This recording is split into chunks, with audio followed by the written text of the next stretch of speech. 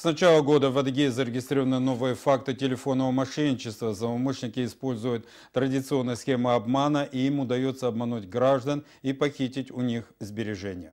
На днях денежных средств лишилась 39-летняя жительница Красногвардейского района, поддавшись уговорам незнакомца, который представился сотрудником правоохранительных органов. Женщина перевела на указанные им номера 300 тысяч рублей. Именно такую сумму запросил злоумышленник за решение проблем с законом у ее сына. МВД по Республике Адыгея вновь призывает граждан не терять бдительность и не соглашаться на подозрительное предложение. О таких фактах следует незамедлительно сообщать ближайший отдел полиции. В Адыгее завершилась акция «Студенческий десант». В рамках ее проведения студентов вузов прошли стажировку в различных подразделениях полиции. Все подробности в материале Вадима Агаркова. Одна из экскурсий была организована в Центр кинологической службы Республиканского МВД. Гостей из колледжа Адыгейского государственного университета встречал начальник подразделения капитан полиции Владислав Прокофьев. Он ознакомил ребят с основными направлениями деятельности службы и задачами, которые ставятся руководством ведомства перед личным составом центра и его питомцами.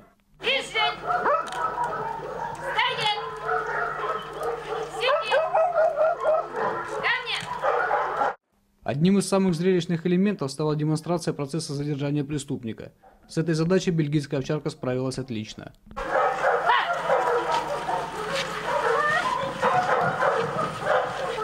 Сейчас на ваших глазах участники всероссийской акции «Студенческий десант» пробуют себя в качестве специалистов-кинологов.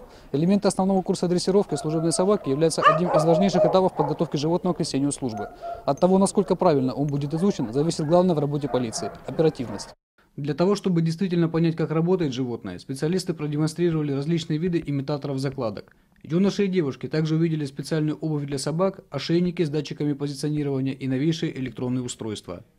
Это то, что мы, допустим, используем для подготовки собак. То есть это прибор контроля, мы можем контролировать собаку, излишнюю агрессию убирать, либо наоборот подсказывать ее вот, звуковым сигналом. Организаторы уверены, что подобного рода акции – одна из возможностей для студентов понять систему органов внутренних дел, а также узнать об отдельных службах и подразделениях ведомства.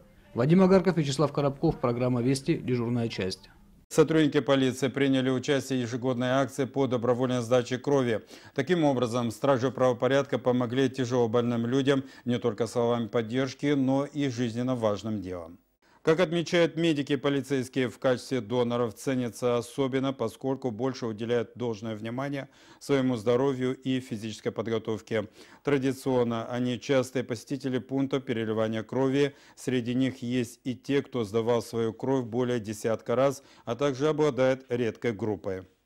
Участие сотрудников МВД по Республике Адыгея в данной акции вносит свой вклад не только в виде запасов крови и ее компонентов для нуждающихся в них жителей Адыгеи, но и формирование положительного образа сотрудников МВД по Республике Адыгея. Каждый день полицейские сталкиваются с чужой болью и горем, видят пострадавших в дорожно-транспортных происшествиях и несчастных случаях. Спасти таких людей нередко помогает только донорская кровь, поэтому такая практика в МВД по Адыгее будет продолжена.